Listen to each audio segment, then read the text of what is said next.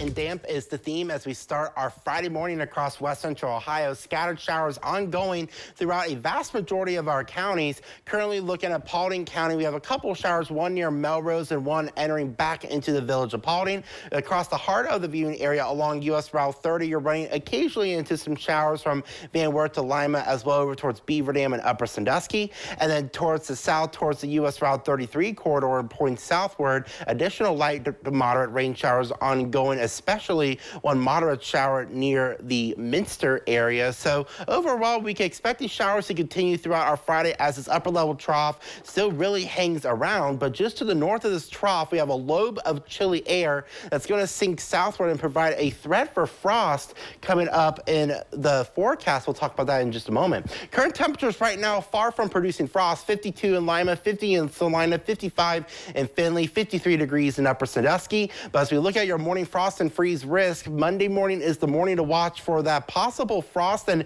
maybe even some freezing temperatures across the area. 33 degrees is the forecast for Monday morning. So if you have any sensitive plants such as mums, be sure to bring them in as they could possibly be damaged if left outside. So look at Skycast to plan out the rest of your Friday. Overall, these scattered showers will be the theme throughout the remainder of the day with blustery conditions. Notice those wind arrows are out of the northwest and moving pretty briskly. So as we go into the latter part of tonight, overnight, we do notice that the shower chances dwindle a little bit, but then a reinvigoration of shower chances look likely for Saturday as a secondary disturbance moves through.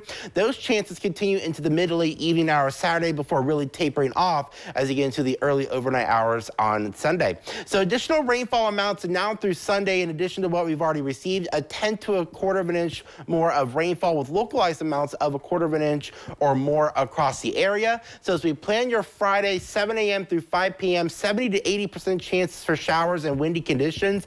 Temperatures rising only very gradually 51 at 9 a.m., 11 a.m., 53, 57 for the high at 3 p.m. And notice those winds even gusting at times up to 25 to 30 miles per hour. And it is football Friday night across the area. So what can you expect at that stadium? So overall, I'm going to call a penalty for a personal foul weather. So kickoff 54 degrees with scattered showers, breezy conditions. And for the final play, still can't rely on isolated scattered shower with temperatures at 49. But overall, it's going to feel quite raw when you're outside outside at the football game. Looking at the seven day forecast, cool temperatures will be the theme Sunday morning, 37 degrees to start off Sunday, 52 for the high Sunday afternoon. But look at Sunday night and the Monday morning. You'll need that coat for sure. 33 degrees for Monday morning with frost very likely. Very likely we'll need at least a frost advisory, if not a freeze warning for Monday morning. That'll likely be issued in about 24 hours or so. But Monday afternoon will rebound nicely actually to almost 60 degrees, mostly sunny, and then even better better for Tuesday. 72 degrees, partly cloudy, breezy. 69 on Wednesday. We'll watch chance for showers return for Thursday and Friday. Still lots of questions about those.